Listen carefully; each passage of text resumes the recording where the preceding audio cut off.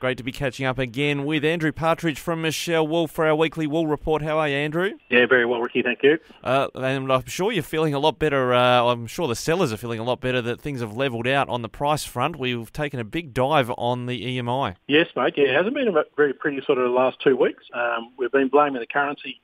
Obviously, break over the break went up a fair bit, so all those US values um, were naturally higher, which you know makes Aussie wool cheaper uh, in Aussie terms. But um, yeah, just had a little bit more of a bright light this week. Market sort of seems to be levelling out, and um, a bit of Chinese export, which I sort of look after, you know, the greasy side of things it uh, more inquiry coming through sort of later in the week with the, and it had a bit of a drop in the currency as well. So yeah, market looks to be leveling out. Despite that tumble though, it looks like we're sort of back to where we were around the same time last year. Yeah, interesting. Yeah, when you look on the year on year, so the EMI it's within seven cents only of the exactly the same time last year, which is a bit of a bit of a freak freak thing at thirteen hundred and forty two.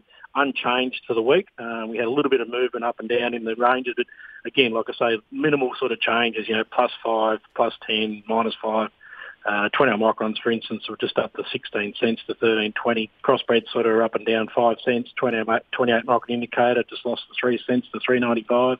Been sitting there around that 400 cent for a fair while. And the carding indicator, it sort of just lost the six cents, but it's even come off a bit in the last couple of weeks. Now, you've made clear in recent reports you've got a, your own views about whether we should be having this recess or break or not. We see this big sort of gulp of wool that needs to be, you know, coughed down by the market in the first couple of weeks. We saw it last year. We finally swallowed it this year. Yeah, that's right. I think we've swallowed it now. Uh, the roster's looking better now. Actually, next week um, we've only got two centres operating, I believe, so it's got no Fremantle next week.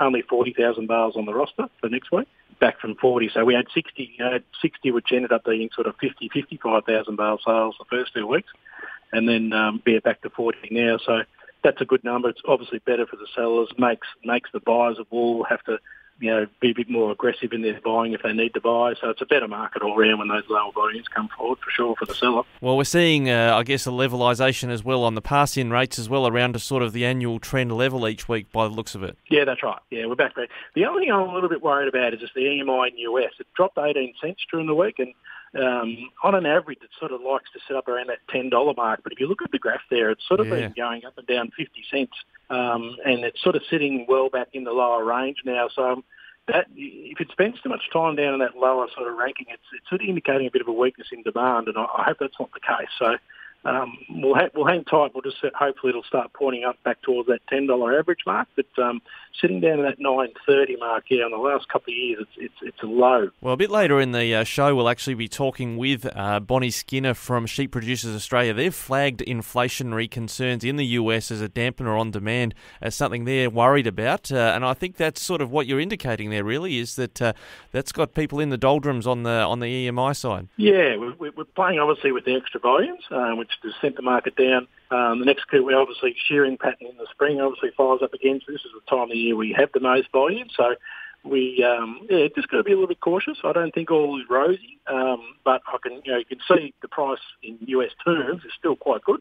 So if there's any sort of demand out there, it'll transfer pretty quickly into the wool market. All right. Well, we'll um, as we do catch up with you next Friday about how that's all progressed. Um, Andrew, thank you very much for joining us. Andrew Partridge from Michell Wool. Cheers, Ricky.